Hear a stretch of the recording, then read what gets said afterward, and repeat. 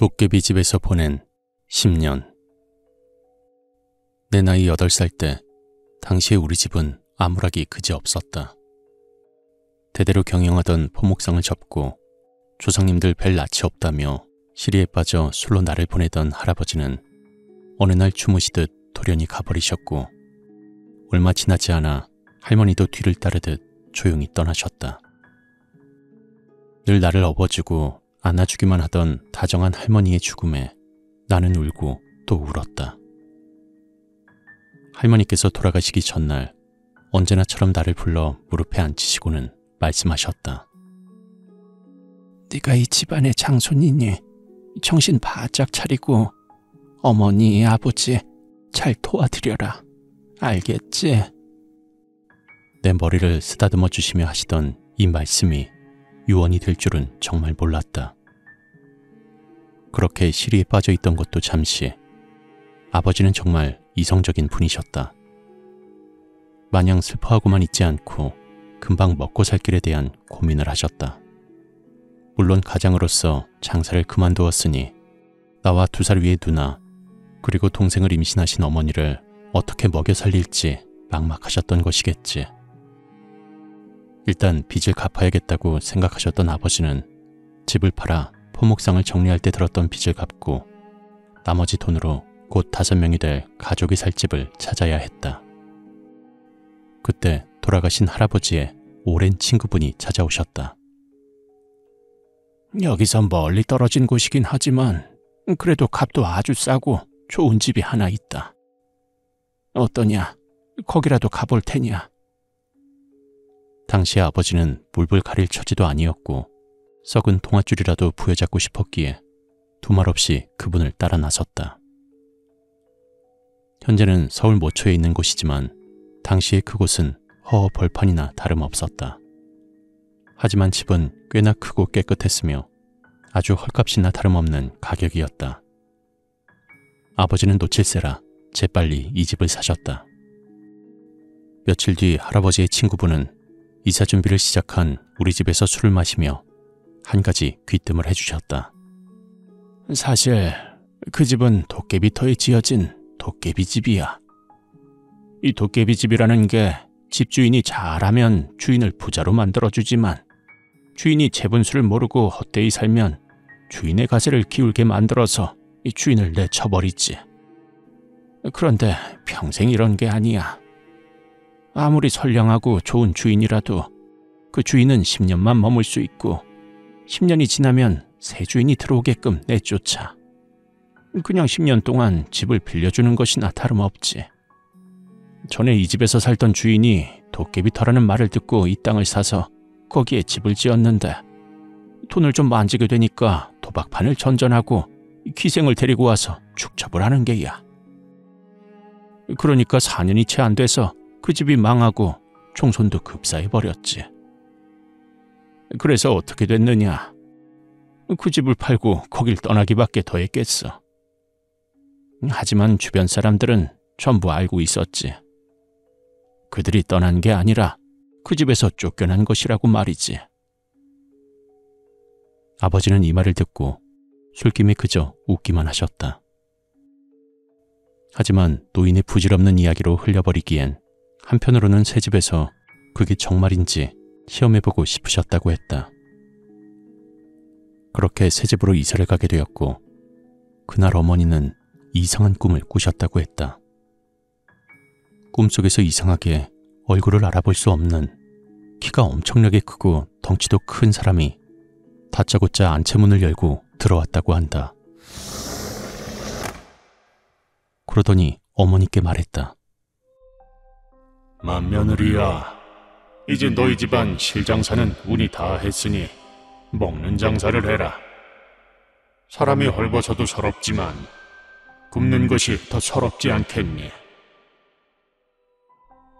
그러더니 갑자기 여다지 문도 없는데 온 집안 문짝이란 문짝들이 쾅하고 일제히 닫혔다. 그 소리에 깬 어머니가 아버지께 꿈 이야기를 하셨다고 한다. 어, 그렇지 않아도 밥 장사를 하려고 했는데 잘 되려나 보다. 좋은 꿈이야. 아버지는 오히려 좋아하셨다. 그 후 아직 밥 장사를 제대로 시작할 여력이 안 되어 어머니께서 새벽마다 두부를 만드셨고 아버지가 나가서 팔았는데 이상하게도 두부가 단 하루도 빠지지 않고 잘 만들어졌고 또 잘 팔렸다.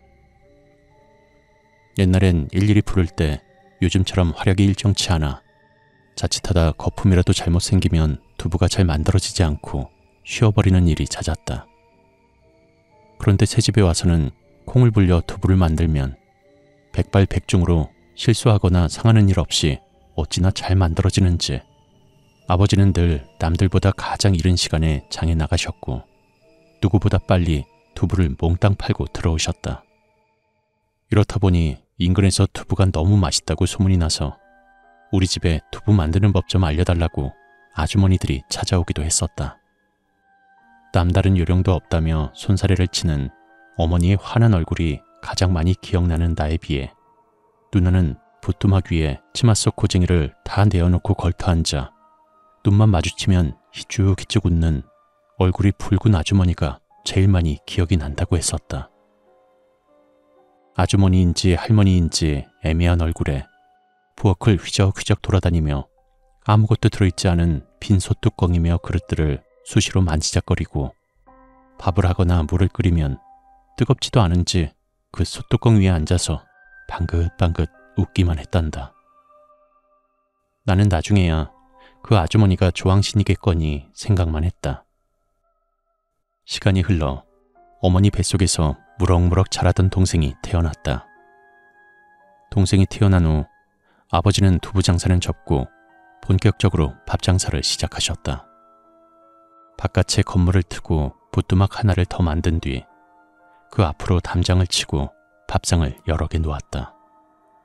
밀려드는 손님을 더 이상 어머니 혼자 힘으로는 감당할 수가 없어 이를 도와주는 아주머니를 셋이나 썼는데도 그들은 해가 떨어지면 녹초가 되곤 했다. 누나는 늘 바쁜 어머니를 대신해 학교에서 돌아오면 아기인 동생을 업었다.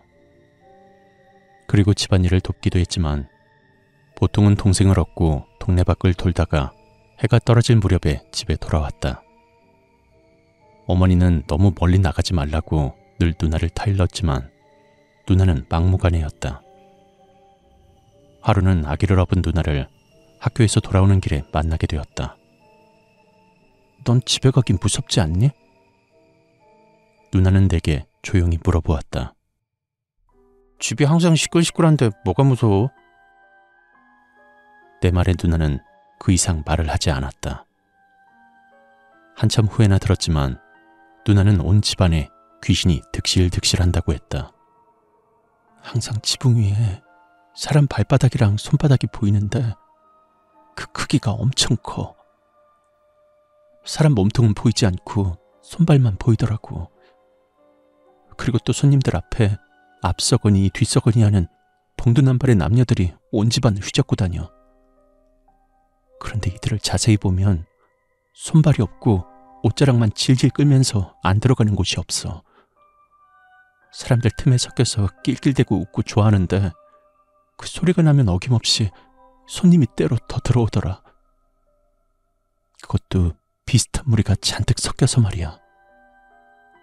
이들은 이러다가 해가 지면 거의 대부분은 나가는데 그러고 나면 수염을 배꼽까지 기르고 코가 시뻘건 영감이 대문 단속을 하고 마당 한가운데 딱 주저앉아.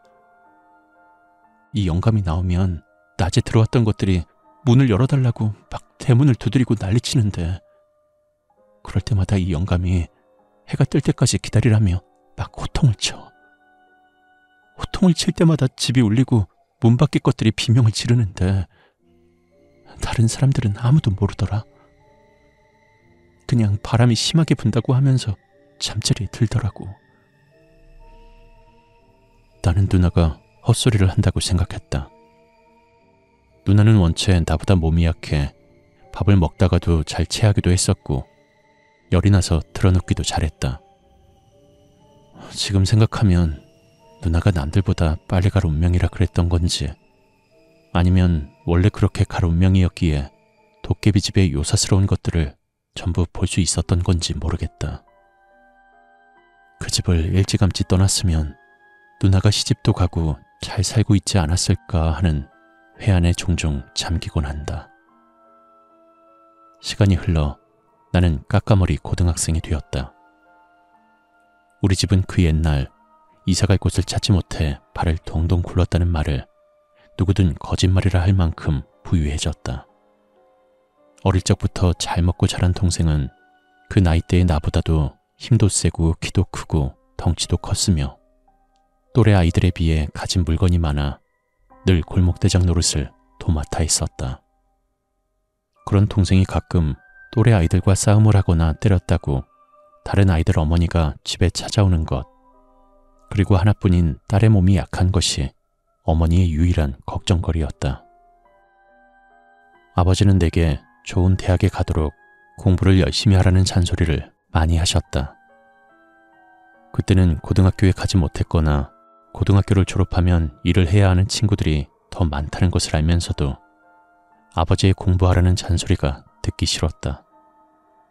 그런데 내 나이 17이 되던 섣달 금음, 어머니는 10년여 만에 괴이한 꿈을 다시 꾸셨다. 이 집에 이사온 애의 꿈에 나온 그 괴물 같은 사람이 안채로 성큼성큼 들어와 말했다. 맏며느리야, 이제 보따리를 싸거라. 1년이 남았어도 1년 안에 가야 한다. 멀리 가되 남산을 꼭 넘어가야만 한다. 그래야 거지들이 따라오질 못해.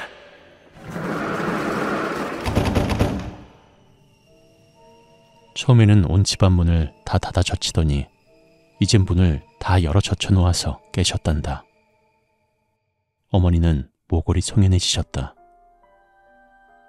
이제야 이 좋은 운이 다 한 것이로구나. 이렇게 잔뜩 받았으니 말을 듣지 않으면 사정없이 빼앗기겠지.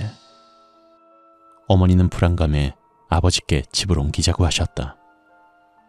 하지만 아버지는 달랐다.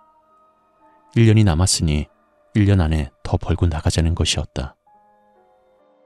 사실 아버지는 다시 포목점을 열고 싶어 하셨다. 할아버지가 돌아가시기 전 내 대에서 끝을 낸 게 송구스러워 저승갈 낯이 없다며 우셨던 게 가슴에 박히셨던 걸까. 밥 장사를 그만두지 않아도 작게나마 포목점을 하고 싶다고 하셨다. 두 분은 이 문제로 싸우셨다. 하던 장사나 더 열심히 하자는 어머니와 이제 하던 장사는 손이 덜 가니 포목점을 같이 하면 더 잘 되지 않겠냐는 아버지. 무어라 할 수 없는 마음에 나는 책상 앞에 돌부처처럼 앉아 책만 보았다. 그런 다툼이 이어지며 1년이 가고 나는 18이 되었다. 이 집에 온 지 정말 꼭 10년이 넘은 것이다. 아버지는 결국 고집대로 포목점을 냈다. 작게 낸다더니 생각보다 가게는 컸다. 장에서 제일 컸다는 옛날 그 가게를 재현하고 싶으셨을까? 어머니는 포목점에 발길도 하지 않고 원래 하던 장사에 몰두하셨다. 그러다가 또 꿈을 꾸셨단다. 하지만 이번엔 안채에 들어오지도 않고 귓가에 조곤조곤 속삭이더란다. 때를 놓쳤으니 알아서 해라. 이집 덕볼 생각은 하지 말아라. 장독의 장이며 곳간의 쌀들이 뱃속에 들어가기도 전에 죄똥으로 변할 것이다.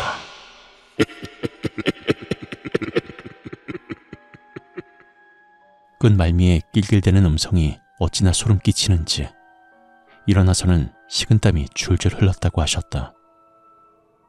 장사는 여전히 잘 됐다. 그런데 누나는 그때부터 자꾸 아프면서 더 무서워했다. 전에는 해가 지면 수염이 긴 영감이 낮에 들어오던 것들을 못 들어오게 막아줬는데 이제는 그 영감이 어디로 갔는지 대문을 잠그지도 막지도 않아. 그것들이 동이 틀 무렵까지 어찌나 온 집안에서 시끄럽게 난리를 치는지 잠을 잘 수가 없어.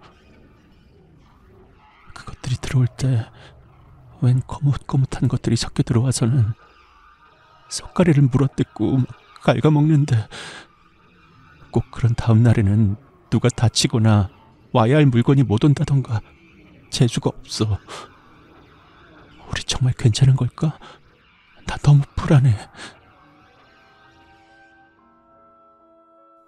한편 어머니는 호목점이 장사도 잘 안 되는데 기껏 밥 장사로 벌어놓은 돈이 그리로 자꾸만 샌다며 짜증을 내셨다. 아버지와 어머니의 싸움이 일상적으로 변한 지 반년. 가을로 들어서던 초입에 누나는 감기에 걸려 눕더니 그대로 일어나지 못했다. 급성 폐렴이었고 누나는 죽기 전까지 의식을 차리지 못해 유언조차 남기지 못했다. 어머니는 꿈자리가 사납더니 이렇게 하나뿐인 딸을 데려갔다고 외할머니를 붙잡고 내내 우셨다. 꿈에서 푸른 저고리에 머리를 다 풀어헤친 여자 둘이서 방에 누운 누나의 발목을 한쪽씩 잡고 질질 끌고 대문 밖으로 나가면서 깔깔 웃었다고 한다.